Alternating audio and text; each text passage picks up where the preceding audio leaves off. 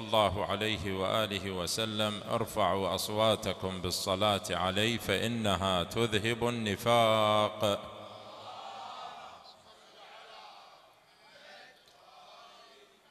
صلى الله عليك يا سيدي ويا مولاي يا رسول الله. صلى الله عليك يا سيدي ويا مولاي يا أبا عبد الله وعلى آل بيتكم الطيبين الطاهرين لعن الله الظالمين لكم من الأولين والآخرين إلى أبد الآبدين. فاز والله من اعتصم بحبلكم وأمن من لجأ إلى حصنكم. يا ليتنا يا كنا معكم سادتي. فنفوز فوزا عظيما. إن كان عندك عبرة تجريها. إن كان عندك عبرة تجريها. يا فانزل بأرض الطف كي نسقيها يا يا يا بأبي التي ورثت مصائب أمها. فغدا يا يا تقابلها بصبر أبيها يا يا يا يا يا هذه نساؤك من يكون إذا سرت. بالأسر سايا يائقها ومن حاديها يا يا يا أيسوقها زجر بضرب متونها يا يا والشمر يحدوها بسب أبي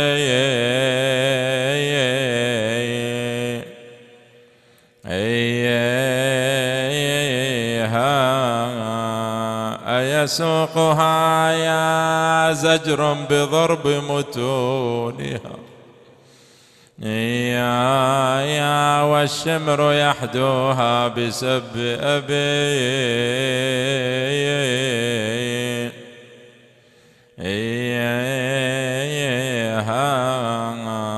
عجبا لها بالأمس أنت تصونها. يا يا واليوم آل أمية تبدي.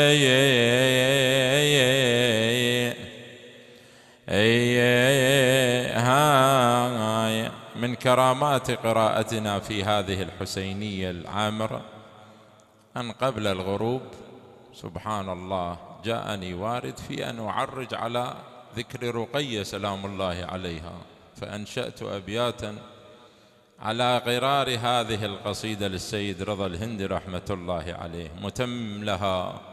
أيسوقها يا زجر بضرب متونها والشمر يحدوها بسب أبيها. يا عجبا لها بالأمس أنت تصونها. يا يا واليوم آل أمية تبدي.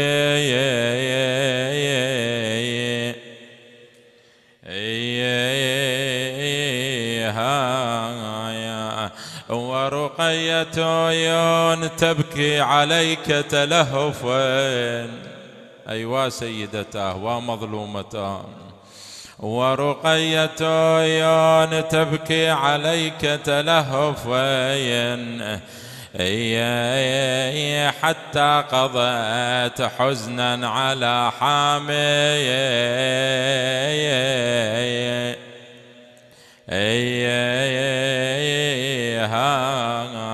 وتصيح وأبتاه مقطوع الوتين.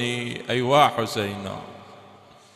أيوا شهيدا ساعد الله قلبك سيدتي لما نظرت إلى رأس أبيك الحسين.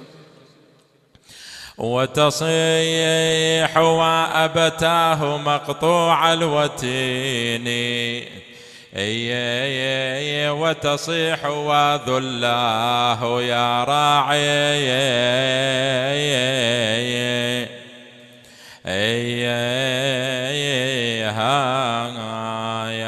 من لليتيمة تهتف يا عزتي. راح عزها وراح دلالها بعد أبيها الحسين.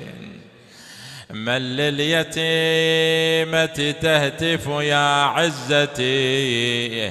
إنسان عيني أنت يا شافي.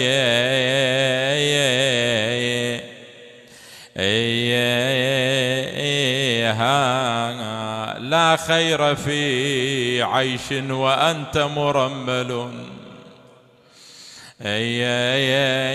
تحت الثرى والناس في وادي.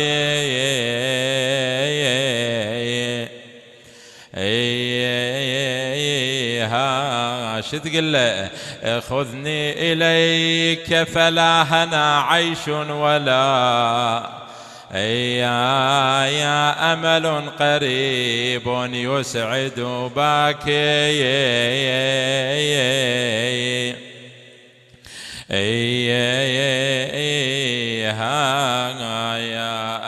إن مت ألقى وجهك المتنورا يا يا والموت نور واللقاء يشفي.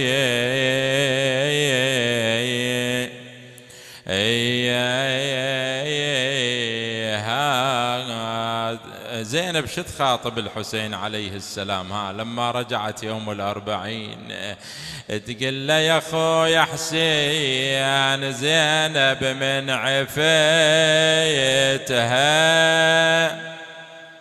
آه خويا للشام دهلبها وكده تقول خويا للشام دولبها وكتها آه. ولو عن رقية سألتها سعد الله قلبك سيدتي يا زينب. تقول لولا يا عن رقية ناشدتها آه. بالشام يا ابن أم دفنتها أي أي بالشام يا ابن امي أي أي أي.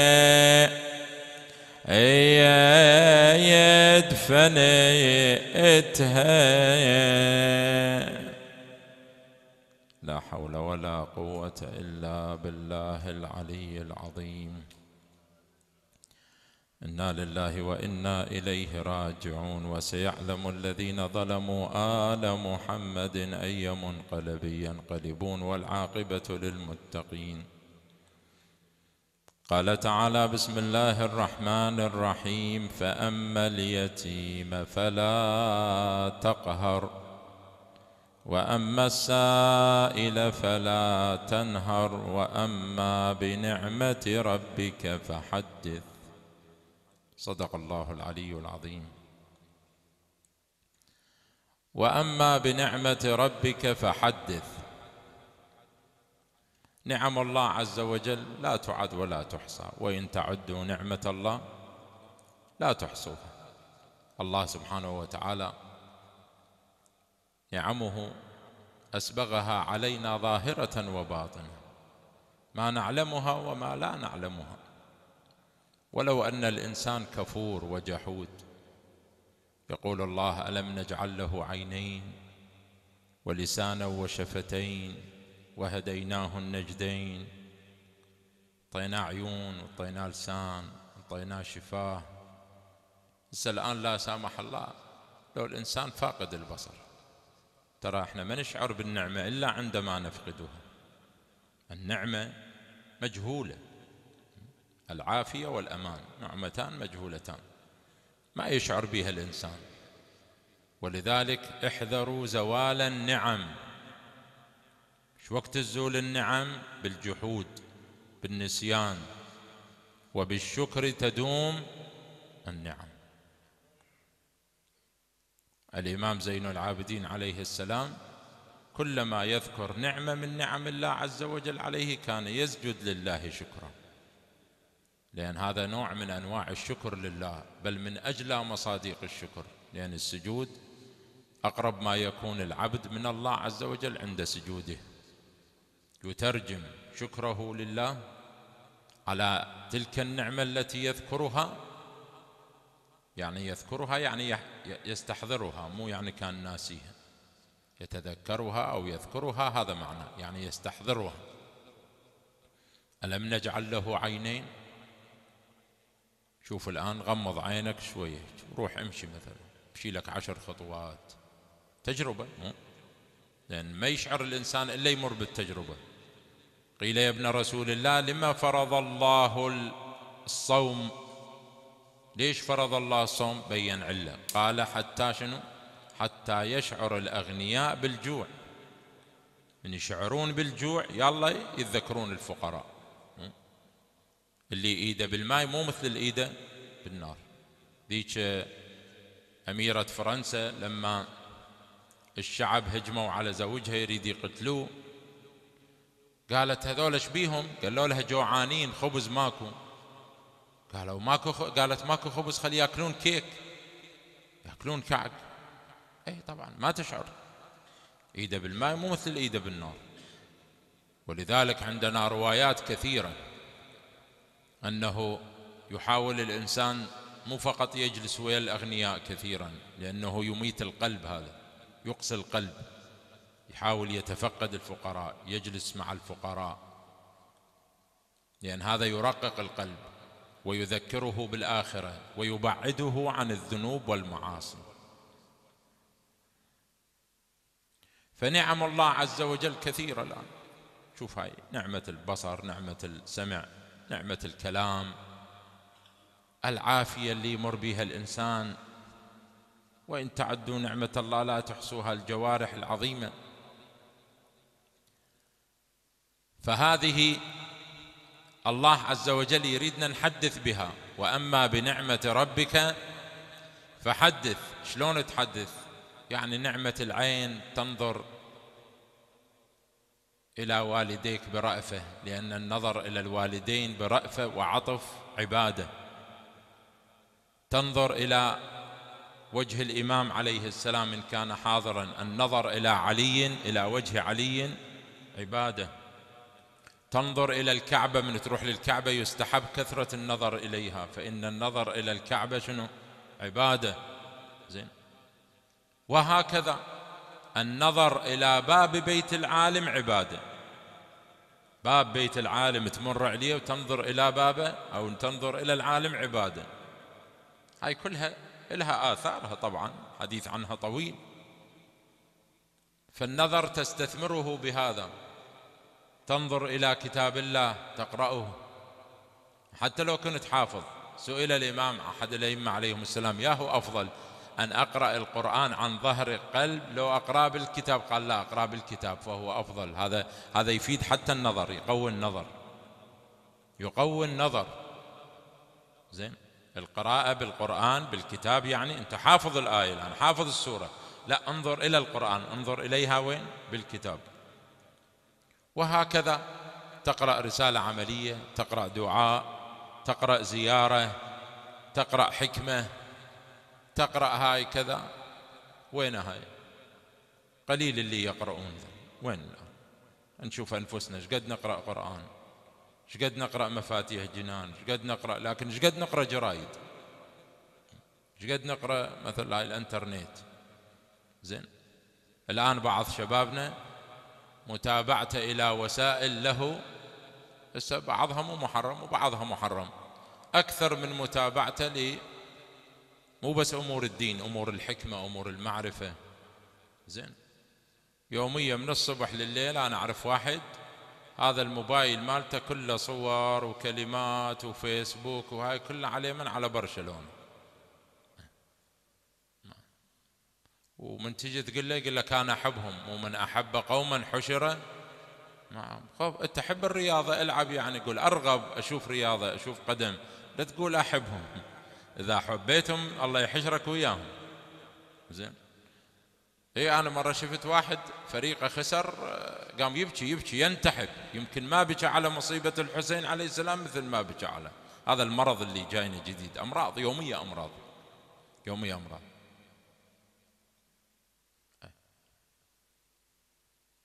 للأسف إي والله. مباح مباح لكن بقدره كل شيء يزيد عن حده ينقلب إلى يصير مرض. يصير مرض وعرق وطلايب ومشاكل. عندنا في النجف فد واحد صاحب مطعم من فاز فريقه من هذول الفرق الغربية سوى احتفال ووزع أكل يعني بمليون دينار ما أدري شلون. من قالوا لي قلت لهم إيه هذا أجر على برشلونة. زين. هذا أجر على برشلونة مليون يمكن تعيش لها أربع خمس عوائل شهر كامل. شهر كامل.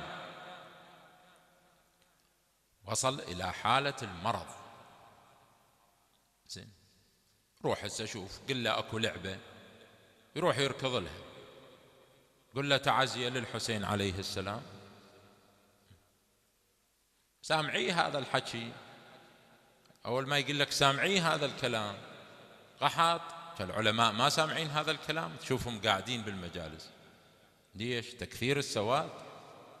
وإن الذكرى تنفعل مؤمنين. يروي لي يروي لي بعض الثقات عن السيد الخوي قدس الله نفسه. يوم من الأيام خطيب صعد والعلماء جالسين. هذا ربع ساعة نعم مصيبة ونزل. السيد قال له أوقف. أوقف قال له. قال له ما وعظتنا. ما خوفتنا. زين. صح علماء لكنه يحتاجون الموعظة يحتاجون الذكرى أن الذكرى تنفعل مؤمنين فهسه بعض الشباب عرف له أربع حكايات ونص لو يريد له حجة حتى يروح يشوف اللعبة أو ما يحب يسمع الكلام خاف الخطيب ينقده أو ينصحه. هو شنو ينقده؟ ينصحه مو ينقده. هاي النقد كلمة جتنا يعني علمانية أكثر مما هي إسلامية. الإسلامية النصيحة الدين النصيحة أخوك من نصحك عدوك من غشك. ينزعج مثلا من النصيحة. كل الأحوال هذا عذر ما مقبول ما مقبول أبدا. أو مثلا إحنا بس نحضر عشرة محرم فقط وفي الله فقط عاشوراء يعني وين كل يوم عاشوراء كل أرض كربلاء. بينما تشوف اكو بعض المؤمنين ما يقبل بمجلس يحضر باليوم. إذا مو مجلسين ثلاثة يحاول أن هاي سياحته هاي نزهته هاي لذته تكون بالمجالس. هذا اللي اللي يحب هيك قضية شعر بلذة المجالس. شعر باللذة. مثل اللي يحب دائما أن يكون يزور الأئمة عليهم السلام. ما تفوت أي زيارة قدر الإمكان لا أقل المخصوصات. ليش شعر بلذة الزيارة؟ مثل اللي يواظب على صلاة الليل والصلاة المفروضة وغير شعر بلذة الصلاة بلذة الصيام. أما اللي اللي ما شعر بذلك وإنها لكبيرة إلا على الخاشعين. يوم من الأيام كنا في شارع الرسول صلى الله عليه وآله في النجف الأشرف آخر يوم باكر عيد مو عيد كذا.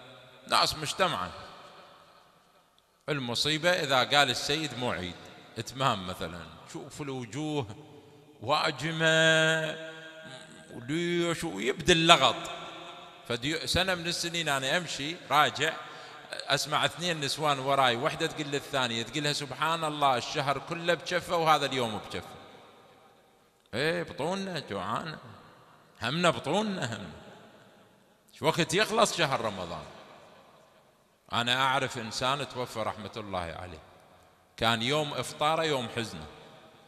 أقل شيء يصوم ثمان تسعة أشهر بالسنة. وإنسان عادي هو ما تخلى أقول لا زنقين ولا أي شيء إنسان عادي فقير. ويوميا يقضي احتياطا عشرة أيام يوميا. عشرة أيام يقضي صلاة. ليش؟ شعر بلذة العبادة. بينما أخواننا الشباب شعروا بلذة الرياضة مثلا أكثر من لذة العبادة. نقول أهم زين الله شفانا شر هالزمن هذا. قبل إحنا نلعب رياضة لا بأس الرياضة لكن صارت الآن مرض. مرض صارت على حساب الدين على حساب الأخلاق على حساب قضايا كثيرة. ناهيك عن أنك ربما إذا دفعت فلسا واحدا في هاي المشفرات وغيرها وهاي قد تدعم أناس هم أعداء لله عز وجل. وأعداء لأهل البيت سلام الله عليهم. وماذا تقول غدا لله سبحانه وتعالى؟ من الآن تفقه في هذا؟ واحد مرة إجا سألني. قال لي سيدنا هذاك اشتراك سنوي هيك كذا. يصير أشترك به يعني أدفع 100 دولار بالسنة ما أدري شنو؟ إذا كان فيه إعانة مو أنا أقول العلماء يقولون. إذا كان فيه إعانة للظالمين أو النواصب أو غيرها تأثم. تأثم تشترك معهم. أي طبعا. طبعا. كل شيء في حساب. زين. الآن كثير من الشباب يلبسون ملابس رياضية لأندية مثلا غربية أو غيرها أو مثلا بها كلمات أو بها ش... لا يعرفون أنها فيها كثير من المحرمات. سأل هل جاء وسأل وقال هاي حلال لو حرام. البائع هل سأل؟ قال هذا حلال أم حرام؟ بيعه شراؤه لبسه. طبعا أنت مو بكيفك تلبس ولا بكيفك تبيع ولا بكيفك تشتري إنما أنت عبد لله عز وجل. تلبس كما يريد تأكل كما يريد تشتري كما يريد تبيع كما يريد لو كنت عبدا لله عز وجل. ويلبس له فانيلة بها فشاير بها كفران. كفران بها كفر كفر. هذا مرة واحد فانيلة نقلوا لي أنا ما شفت شفت غير كلمات. طبعا أنا أستوقفهم أغلبهم أقول له تعرف هاي الكلمات؟ يقول لي لا والله ما أعرف. بالإنجليزي ما يعرف. وإذا دعاية لشركات إباحية مثلا. وإذا كاتب مثلا I don't believe the God. لا يؤمن بالله عز وجل.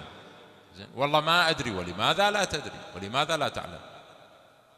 الدور هم بعض إخواننا يلبس أسود حزنا على الحسين عليه السلام وحاط له صليب هنا مثلا بالفانين لو حاط له دعاية مال شركات محرمة لو كذا زين. والله حلوة. شنو حلوة يعني؟ من قال لك حلوة على أي أساس حلوة؟ في كل شيء يجب أن تسأل وتتفقه. المهم وأما بنعمة ربك فحدث النظر بهذا تحدث اللسان بهذا تحدث بالموعظة بالكلمة الطيبة بقراءة القرآن واجعل لساني بذكرك لهجا السمع كذلك في رواية يذكرها الفريقان من نظر إلى فضيلة من فضائل علي بن أبي طالب عليه السلام. غفر الله له الذنوب التي اكتسبها بالنظر. من استمع إلى فضيلة من فضائل علي بن أبي طالب عليه السلام. غفر الله له الذنوب التي اكتسبها بالسماع. من ذكر فضيلة من فضائل علي بن أبي طالب عليه السلام. غفر الله له الذنوب التي اكتسبها باللسان. الغيبة النميمة الكلام هاي الكلام القبيح. ومن كتب فضيلة من فضائل علي بن أبي طالب عليه السلام كان له من الثواب ما دام المداد على القرطاس. صلوا على محمد وعلى محمد. خلي قعداتنا تصير بالشارع لو برا لو كذا. ما أقول لك لا تتكلم بالدنيا. ولكن ها نص ونص. اعمل لدنياك كأنك تعيش أبدا واعمل لآخرتك كأنك تموت غدا. يعجبني مرة مريت على بعض الشباب استوقفوني قال سيد فالسؤال قال ده نتحدث على فضيلة من فضائل علي بن أبي طالب. قلت لهم والله هنيئا لكم خل أقعد وياكم. هذا مجلس يحبه الله يحبه أهل البيت عليهم السلام. حديث زينوا مجالسكم بذكر مناقب علي بن أبي طالب. اللهم صل على وأما بنعمة ربك فحدث. ورد أن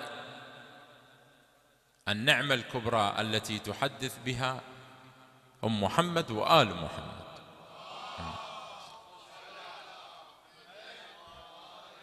يعني حدث الناس. بأهل البيت عليهم السلام. هم كانوا يقفون في منى كما رويت لكم في حديث الإمام الباقر عليه السلام في يوم ولادته. قلت لكم كان يجتمع الناس يصعدون. ادعو إلى سبيل ربك بالحكمة والموعظة الحسنة. يصعد يصيح يا أيها الناس أيها الناس أنا أهل بيت النبوة ومضع الرسالة ومختلف الملائكة. ما أجمل كلامكم. كلامكم نور ما أحلى أسماءكم. فمن عرفني فقد عرفني ومن لم يعرفني فإني اعرفه بنفسي. أنا محمد بن علي بن الحسين بن علي بن أبي طالب. كلمة طيبة. أبو الصلت الهروي عبد السلام بن صالح يقول سمعت أبا الحسن الرضا عليه السلام يقول أحيوا أمرنا. هاي إحنا كل إحنا سامعين هذا الحديث. لكن إلى تكملة. رحم الله عبدا أحيا أمر أمرنا. قلت وكيف يحيي أمركم؟ قال يتعلم علومنا ويعلمها الناس. فإن الناس لو علموا محاسن كلامنا لاتبعونا. كونوا دعاة لنا صامتين. شيعتنا كونوا زينا لنا. لا تكونوا شينا علينا. حدثوا الناس بما يعرفون بما يعقلون. كلموا الناس على قدر عقولهم. مو هاي هم فت قضية يعني كل من استغلها هاي هاي الرواية كل من استغلها وبكيفه قام كيف ياخذ جهة ويعوف جهة. بدون معرفة الشروط بدون معرفة شروط الأمر بالمعروف والنهي عن المنكر. يقول لك أنا أريد أنشر فضائل أهل البيت عليهم السلام. أريد أنشر مناقبهم. ومن قال لك أن هذا هو الطريق الصحيح أو الطريقة الصحيحة هل تعلم هل تعلم وتعرف طرق نشر فضائل أهل البيت عليهم السلام أو الدعوة إلى رضا الله ورضاهم سلام الله عليهم؟ ها؟ كثير من الناس يفسد ولا يصلح ويكون هو السبب في الإساءة إلى المذهب وإلى الدين. يجي مثلا يلقي له واحد واقف يتوضأ وضوء خطأ. بس المسألة أعمق من هاي بس خله ما دام أذكر هذا. وراح نذكره في حياة الإمام الحسن عليه السلام. وكلكم ربما مر عليكم هاي الحادثة. يجي يلقى واحد يتوضأ وضوء غلط. رأسا. انتبه ليش هيك؟ تعلم إيش كبرك إيش قدك؟ وإذا عبوس بسب بشتم بإهانة بتحقير لكل فعل شنو؟ رد فعل. يعاكسه. يعاكسه. يقوم يغلط عليك يسبك يشتمك. واحد يوم من الأيام أذكر هيك موضوع خلصت وهو من المشايخ من الطلبة. قال صارت وياي سيدنا شلون؟ قال صعدت ويا أبو تاكسي مشى نص الطريق فتح أغاني. زين قلت له الطفيهين المسجل لو أنزل. قال ضرب بريك بنص الصحراء فتح الباب قال يلا ولي انزل. قلت له ربما أنت السبب. قلت له يوم من الأيام صعدت ويا شخص كان فاتح أغاني لكن هذا شوية عنده حياء قطرة أكو ذاك ما عنده قطرة. فطفاها. كان يظن أنه أعوفه. سلمت عليه رد السلام مثل المرتبك. قلت له لفلان مكان؟ قال اي تفضل. قلت له إيش قلت؟ قال بكيفه قلت له لا إلا حدد الاجره قال بكيف. حتى لو ما تطير صعدت. كان مخلي يم الجامع تصوير تشبيه للإمام أظنه الحسين عليه السلام. اي وإحنا دا نمشي. سألني فد سؤال همات جاوبته. قلت له ممكن فد سؤال؟ قال تفضل سيدنا. أشرت على الصورة قلت له شيء ما يشبه شيء وأشرت عليه من؟ على المسجل. قال والله مو مالت الكاسيت وكذا ظل بس يتعذر وراح أتلفه قلت له ليش التلفه حوله إلى قرآن. سويه قرآن هاي بالتسعينات بزمن ذاك الرجل.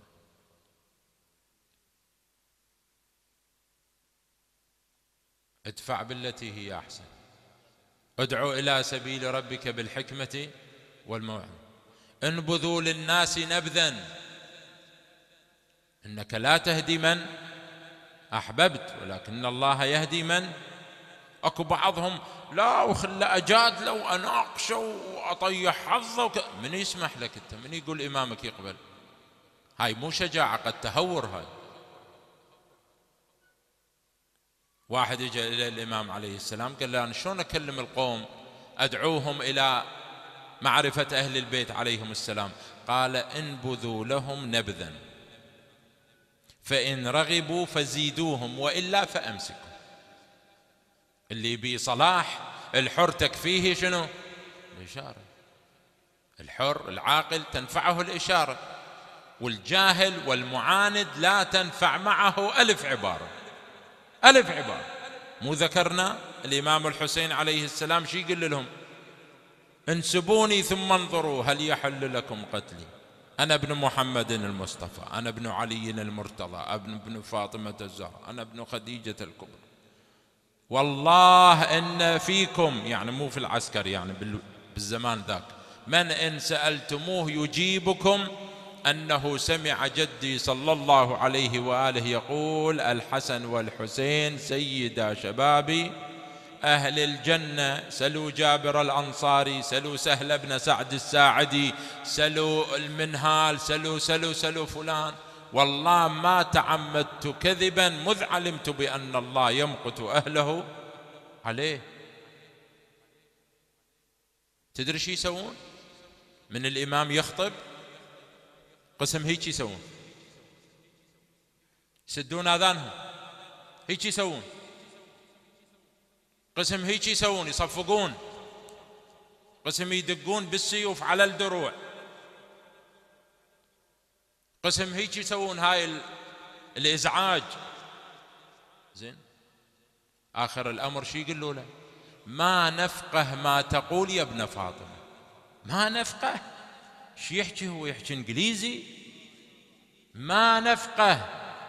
قال وأنى لكم ذلك وقد ملئت بطونكم حراما. وأنى لكم حتى بمجتمعنا هسه. بعض المتشيعة من تنملئ بطنه حرام تحكي وياه قول لها إيش قاعد يحكي هذا؟ زين. نصحه ما يفيد النصيحة.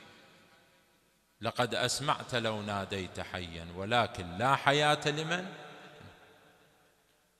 حتى ويا أهلك. إجا واحد يبكي للنبي صلى الله عليه وآله قال له يا رسول الله أنا نفسي ما أقدر لها الدور كلفت أهلي قوا أنفسكم وأهليكم نارا وقودها الناس والحجارة. قال مرهم كما تأمر نفسك وأنهاهم كما تنهى نفسك. أنت ما مكلف أزيد من هذا. زين؟ ما من حقك تضرب زوجتك. بس قلها قوم صلي. ما صلت ما تضربها ما من حقك تضربها. ابنك تقول له قوم صلي ما صلى ما من حقك تضربه ما من حقك. اكو بعض الناس أنا اضربه اكتله اذا ما يقوم يصلي. من من من, اعطاك هذا الحق؟ من اعطاك هذا الحق؟ أو يمنع عنه الطعام والشراب من اعطاك هذا الحق؟ زين طعام وشراب لا تمنع منه. بل إذا أراد يلبس ملبس فاضح لا تعطيه فلوس. له ما أعطيك أنا فلوس. هذا ملبس فاضح. زين وين أكو هيك أبو؟ لأن كلها الزق بالشباب يروح يلبس. جينز مينز مدري شنو البنات بنطلونات كابوي أحذية أبو الطقة مدري شنو. هذا اللي ياكلها. كل شيء له حدوده يا إخوان. فكيف بغيرك؟ هذول يدعون أنهم موالون لأهل البيت عليهم السلام. محبون لأهل البيت. ومن منهم يقبل النصيحة؟ منهم. فكيف بالمخالفين؟ أمرنا بأن نعاشرهم بالمعاشرة الحسنة. زين؟ على ظاهر الإسلام. يريد هو الأبواب مفتحة. هو يجي للحسينية يجي للجامع يجي للعلماء. الآن إنترنت موجود فضائيات موجودة والحق مبين ذاك وياه. ما يحتاج لروح للقاضي الحق بين. إن أمرنا أوضح من هذه الشمس في رابعة النهار لا تذهب نفسك عليهم حسرات. لا أنا أروح وأسب وأشتم من يسمح لك؟ من إذن لك؟ محمد بن النعمان مؤمن الطاق أو هشام بن الحكم أحدهم. اجى واحد يدخل على الإمام الصادق عليه السلام لقاه هذا محجوب حاجب الإمام دخل على الإمام قال له يا ابن رسول الله هذا هذا الذاب عنكم بلسانه؟ قال فليذهب. إن صبي الكتاتيب يدحض حجته. قال كيف يا ابن رسول الله؟ قال لو سأله بما تجادل القوم. الإمام عليه السلام قال له ذولا لا تجادلهم. بمشاكل اقعدوا. هذا ما يتحمل. ما يتحمل. أكو بعض مثل شبابنا بعض شبابنا متهور ما يتحمل. مو فرط إيمان. تهور هذا وليس شجاعة. تهور ومخالفة لأمر الإمام عليه السلام. كون بزمن الغيبة تعرف أمر إمامك شي يريد من عندك. كيف تتعامل مع الناس؟ كيف تتعامل مع أهلك؟ كيف تتعامل مع الكافرين؟ مو بكيفك أنت تجتهد. مو بكيفك تأمر بالمعروف وتنهى عن المنكر. مو بكيفك تتحدث عن فضائل أهل البيت عليهم السلام. كل شيء له حدود. ومن يتعدى حدود الله فأولئك هم الظالمون. أغلب الناس الآن بكيفه كيف ينزل بالفيسبوك والواتساب والانترنت ينزل ينزل أحاديث ينزل روايات ينزل أشعار حتى لو بها أذى وضرر على المؤمنين حتى هو حضر الجنابه مجتهد. بكيف؟ خوف أنت مجتهد. الله يحاسبك على ذلك. لكن إحنا نشوف تكليفنا الشرعي أن هذا مخالف. كل شيء له حدود. لكل مقام مقال زين فبعض الناس للأسف الشديد يعني. فأحد الأخوان المؤمنين يقول هاي ويا ويا ويا ناسنا. يقول يوم من الأيام كنت ضيف عند أقربائي. هذولا اجت البنية تقدم طبعا اجت البنية تقدم. هي أجنبية عني صحب يعني أقربائي بنت خالتي ما كذا. بس هاي أجنبية يعني. طبعا محجبة لكن لابسة بنطلون كابوي هذا واحد. ولابسة تكرمون من هذا النعال المغري هلا يا ما شاء الله. النعال يغري شوف أو على حد تعبيره. يقول أنا درت وجهك أبوها قاعد. قلت لها هذا مو لبس تجين بيدي هنا. قال هسه هي قرابتك مثل أختك. مثل أختك؟ شلون هاي سامعيها لو ما سامعيها مثل أختك. يقول إن لا هذا ما يجوز وكذا انزعج. انزعج طلع ثاني يعني يقول كلمته بكل أدب همات ما هذا؟ مثل أختي شلون؟ طلعت. فيقول امه وياي؟ قالت لي يمه ستشلك بهاي السواليف. هذا انزعج من عندك وكذا. يقول قلت لها يمه هسه صلاة الظهر إذا صارت ما أصلي. قالت لا يمه ليش ما تصلي صلاة الظهر؟ قلت لها ما أصلي. إلا أصلي قالت إيه فريضة. قلت لها يمه كان فريضة بس الصلاة؟ هاي هم فريضة. هاي هم فريضة. فمن يقبل من أقربائك وأرحامك حتى المخالفين يقبلون من عندك؟ مو بالأمر الأهين. وأما بنعمة ربك فحدث. من تتحدث بسيرة أهل البيت عليهم السلام بفقههم فضائلهم بأي شيء لازم تشوف المجتمع تشوف الناس إذا تتحدث بفضائية إذا بأنترنت إذا بغيره كل شيء له حدود. كون تعرف هاي الحدود وإذا ما عرفت دير بالك. لا تتقدم خطوة. إذا تقدمت حتى لو صحيح ما تؤجر عليها. ما تؤجر عليها. لأنك ماذا؟ لأنك ذكرت ذلك الشيء عن غير هدى ولا كتاب منه ولا معرفة بشرائط الأمر بالمعروف والنهي عن المنكر. فاكو حدود الائمه عليهم السلام ما يقولوا لك لا تنشر فضائلنا بس شلون وكيف ومتى وأين؟ هذا هذا كون اللي تعرفه. أهل البيت عليهم السلام ما يقولوا لك لا تأمر بالمعروف ولا تنهى عن المنكر لكن قالوا لك اعرف شروط الأمر بالمعروف والنهي شنو؟ عن المنكر. كل شيء بوقته كل شيء بزمانه. هاي لازم تلاحظ تعرف يا إخواني هاي يحتاج لها سعة باع سعة معرفة. وأما السائل فلا تنهر. قيل السائل هذا سائل اليد. لا تنهره. الكلمة الطيبة صدقة. ما تريد تعطيك إلا الله يرزقك. ورد عندنا خصوص في الليل. إذا طرقت الباب وكان السائل ذكرا. يعني رجل أو ولد طفل. زين مو أنثى. هذا ورد بي يعني. أنه كراهة شديدة جدا أن ما تعطيه. لأن قد يكون هذا من رسل الله إليك ملك أو, أو من الجن أو من حتى الله يبتليك.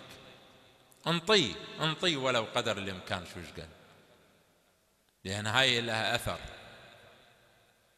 أحد الإخوان الثقات روالي هاي الحادثة يقول يوم من الأيام حضرنا عند إنسان احتضر. نستجي يعني أعاننا الله عز وجل على الاحتضار. يقول نقول له قل أشهد أن لا إله إلا الله يقول لو كبيرة لو كبيرة قل أشهد أن محمد رسول الله. اللهم صل على محمد. يقول لو جديدة قلنا قل له أشهد أن عليا ولي الله. اللهم صل على محمد.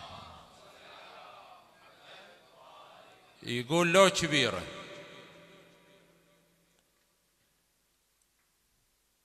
عفوا لو طويلة. هاي الأخيرة لو طويلة. لو كبيرة لو جديدة لو طويلة. يقول سبحان الله الله عز وجل نزع عنه الاحتضار. بعد فترة لما ارتاح كذا يقول جيت سألته أقربائي وإنسان يعني ما شفنا يعني يعني مو مو مؤمن. مؤمن بس هاي الخصال راح تبين عنده. قلنا له أنت هيك نقول لك؟ تقول لو جدي لو كبيرة لو جديدة لو طويلة. قال إي بعد أنا شفت الموت بعيوني. راح أسولف لكم. قال أنتو من تكلموني أنا اجوا ملائكه اثنين. هذا طلع صحيفة أعمال الحسنة هذا السيئة. واحد يقول للثاني يقول له هذا كل شيء ما عنده هذا. شوف كل حسنات ما عنده. زين؟ الثاني قال له لا عنده كم حسنة؟ قال له زين. طبعا يقول له فتح لي أخدود إلى جهنم. يقول له النار ما أوصف لك إياه. نار بوجهي شنو من نار؟ ما توصف. يقول قال له عنده هذا شيء زين؟ قال له هذا كان بخيل جدا. جدا. ولكن يوم من الأيام طرقت الباب بالليل.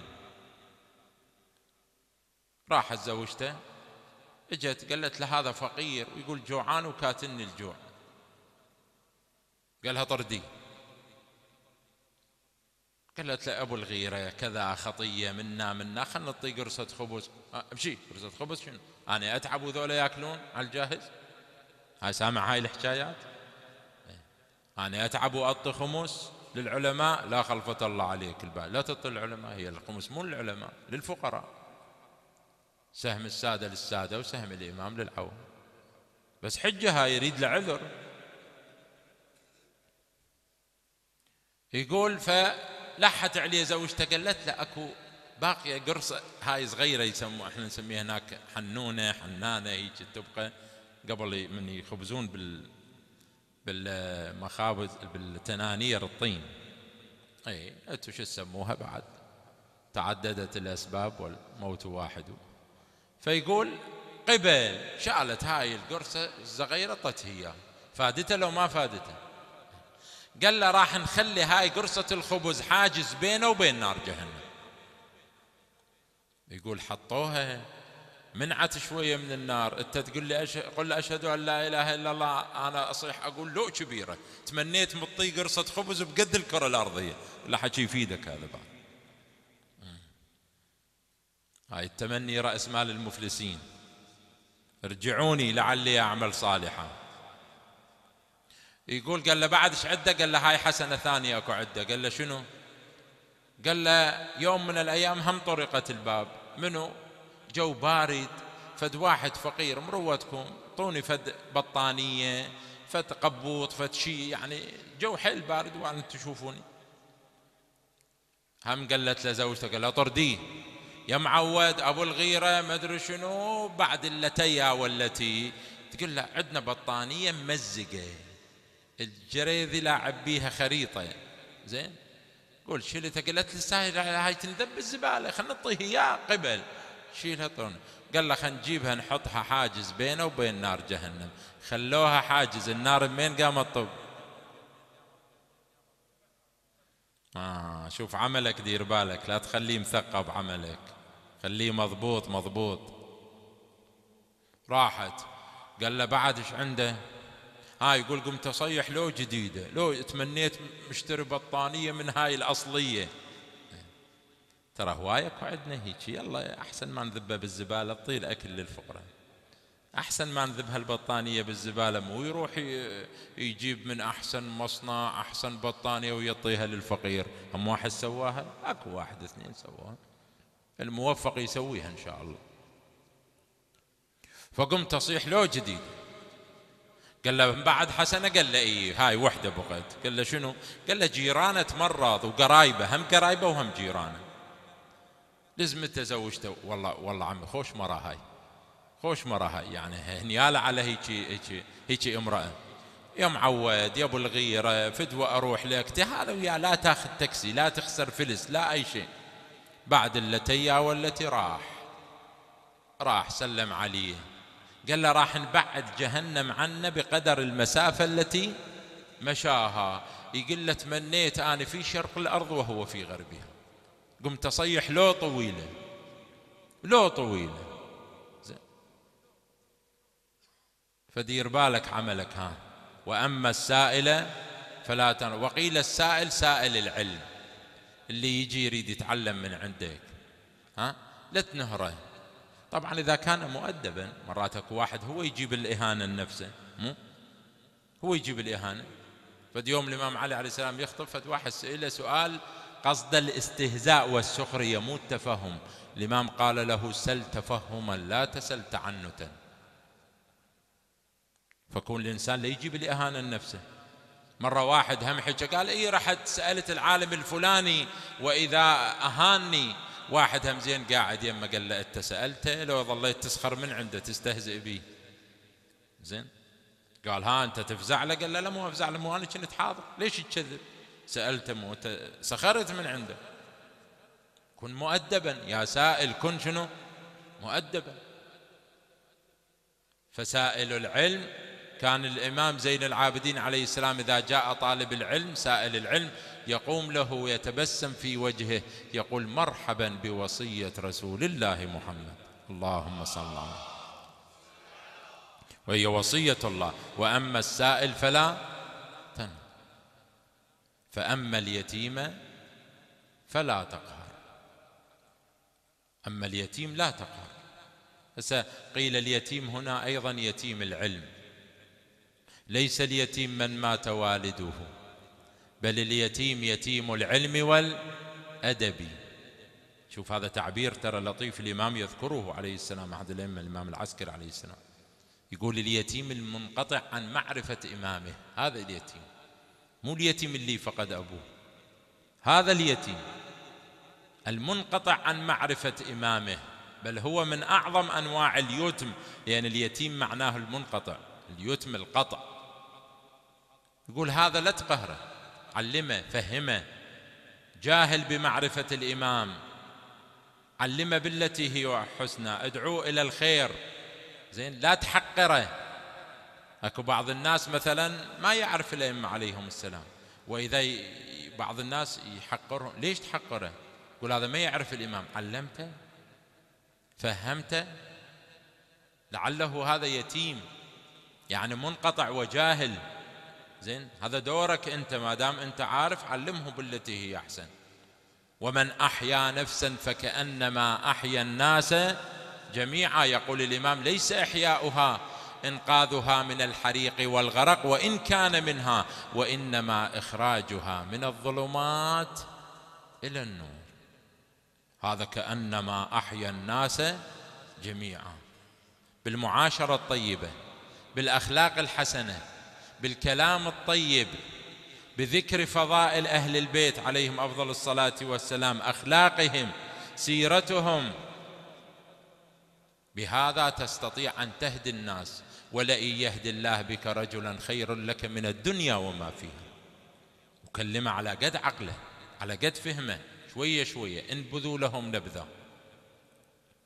فأما اليتيم فلا تقهر. وقيل اليتيم هو فاقد الأب سواء فاقد الأبوين هذا أشد من فاقد الأب. وقيل فاقد الأب. أحب أن أذكر هذه الحادثة قبل أن أختم.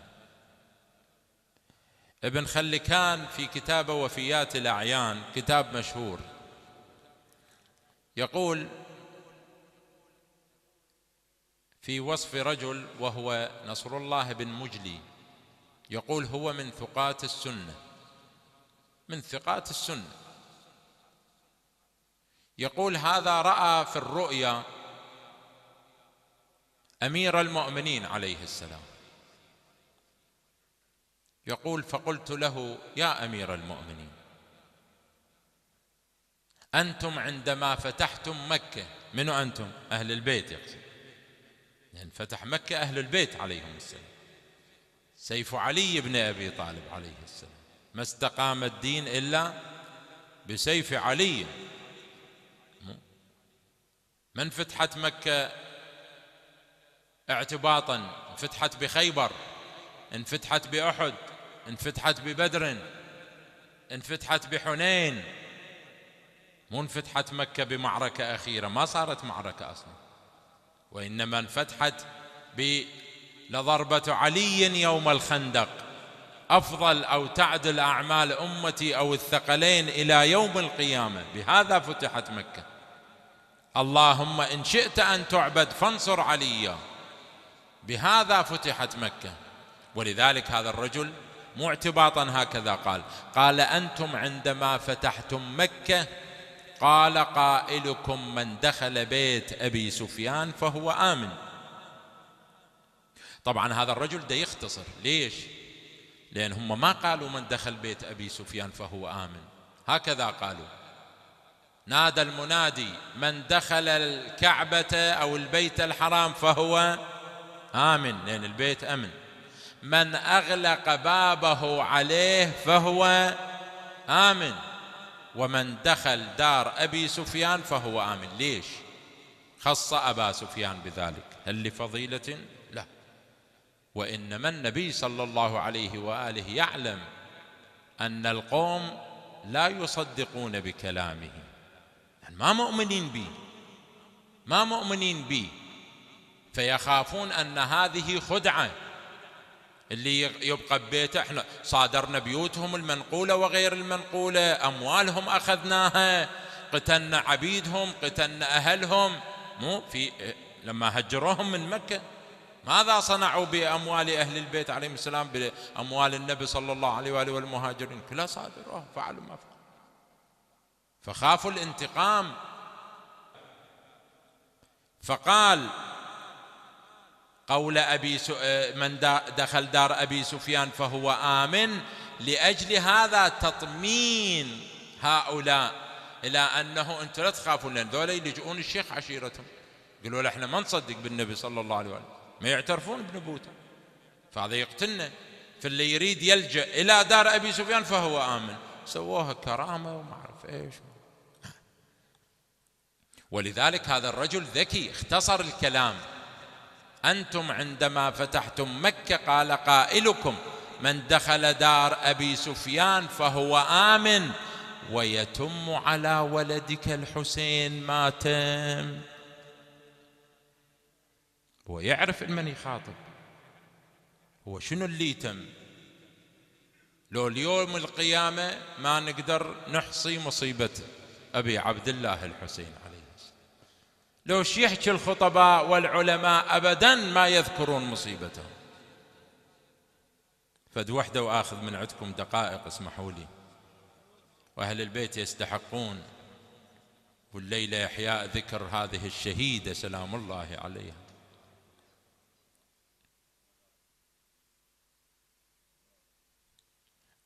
السيد المقرم رحمه الله يذكر هاي الحادثة في مقتله.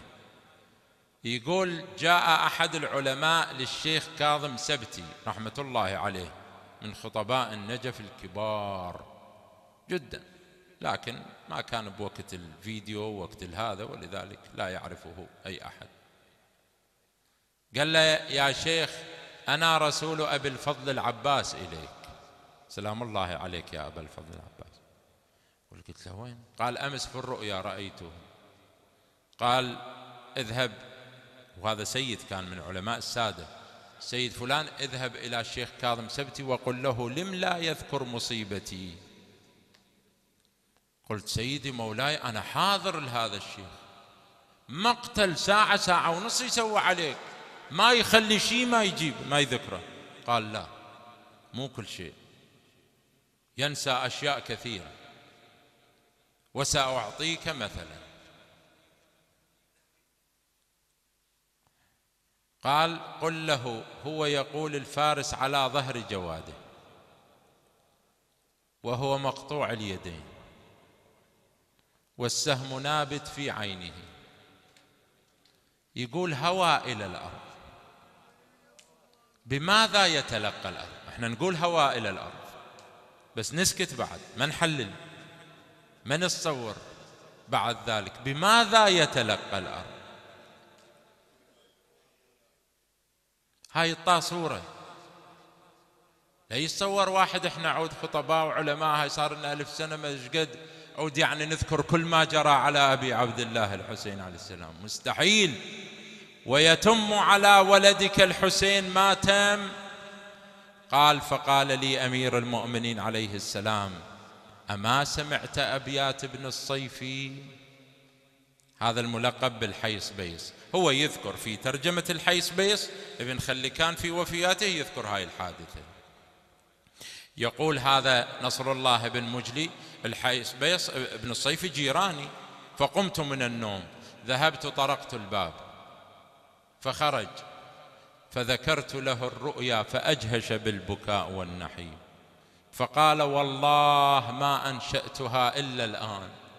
هاي الأبيات أنشأتها إلا الآن على لسان حال أهل البيت.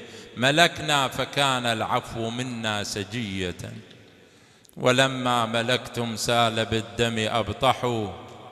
وحللتم قتل الأسارى وطالما. غدونا عن الأسرى نعف ونصفح. فحسبكم هذا التفاوت بيننا وكل إناء بالذي فيه. ينضح. شنو كان إناء يزيد بن معاوية؟ ها؟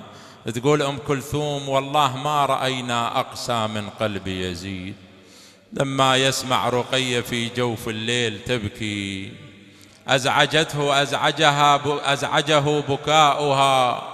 سأل قال ماذا تريد هذه الطفلة؟ هل تشتهي الطعام؟ قالوا لا وإنما رأت أباها في المنام. في الرؤيا وهي لا تهجع الآن حتى ترى أباها الحسين. وإذا به يقول قدموا لها رأس أبيها. الله أكبر. قدموا لها رأس أبيها وإذا وقعت عليه تشم وهي تقول يا أبتا يا من الذي خضبك بدمائي. يا أبتا يا من الذي قطع وريدك يا أبتا من الذي أيتمني على صغر سني؟ يا أبتا من لليتيمة حتى تكبر؟ وظلت تقول يا أبتاه يا أبتاه إلى أن سكتت بأبي وأمي. يقول الراوي لما حركتها عمتها زينب وجدتها ميتة. رحم الله المنادي أيوا سيدتا تقول له يا والد والله ضيمه آه. أنا صير من زغري يتيمة والله أثار الأبو يا ناس خيمة. آه. يفيع على عياله وحريمه والله يفيع على عياله وحريمه. آه.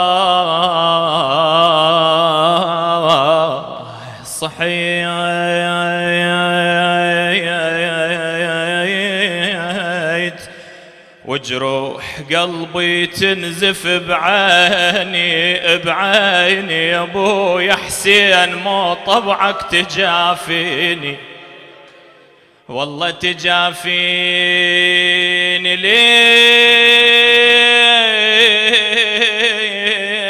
ليش بكربلة وحدي تخليني؟ والله تخليني جاوين المحنل بينك وبين.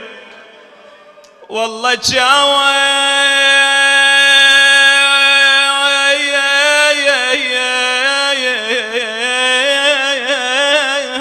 المحنل بينك وبيني زينب سلام الله عليها شاهدت مصائب كثيرة. شاهدت مصرع الحسين كانت تصعد على التل المعروف بالتل الزينبي. الله يوديكم جميعا هذه السنة إن شاء الله ذاك المكان المقدس. تقول يصور الشاعر هنا يقول زينب حتى ما كانت تقدر على تصعد على التل. تقول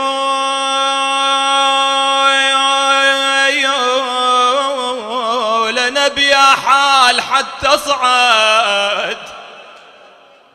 نبي حال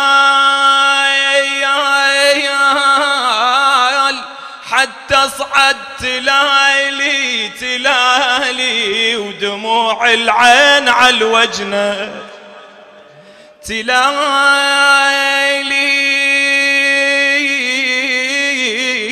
راسك على الرمح مصحف. بالله اسمع شنو قال رأس الشريف لا زينب. والله رأسك على الرمح مصحف تلالي تلالي تلالي. واسمع يقول بارول رقية. إي اي والله واسمع يقول بايا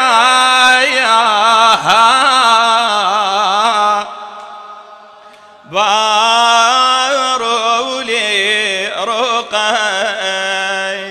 والله رقية ونت وباج من الأيتام.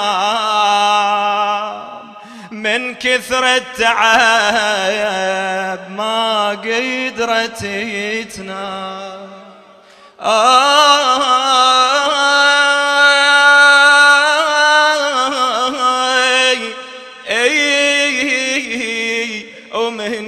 كثر التعب ما قدرت تنام هاي تصيح متن وذيج هاي تصيح متن وهاي ديه والله بتنا بتنا يا يا يا بعد ذاك الشموخ الجان. بتنا بتنا يا بخرايب آل مي الليل زينة. يا يا والله بتنا تموت من الضروب يا ناس. والله تموت من الضرب يا ناس. بتنا بتنا عزيزة للذبح بالغاضري.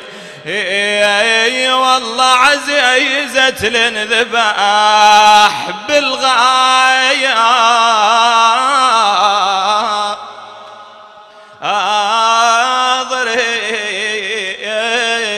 والله طفلة لو عدكم يا شيعة دللوها. الله يخلي لكم إن شاء الله أولادكم طفلة لو عدكم يا شيعة دللوها. لا تصرخون بوجهها وتضربوا. والله دائما ذكروا رقية العذبوها. يا يا يا يا. خويا بالطشت خويا نطوق رايا سبوقا مأجورين إن شاء الله.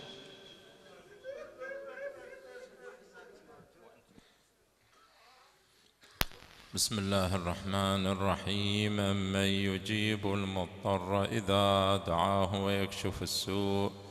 أمن يجيب المضطر إذا دعاه ويكشف السوء. أمن يجيب المضطر إذا دعاه ويكشف السوء. اللهم اشفي كل مريض خصوصا من أوصانا بالدعاء اشفي مرضاهم واقضي حوائجهم.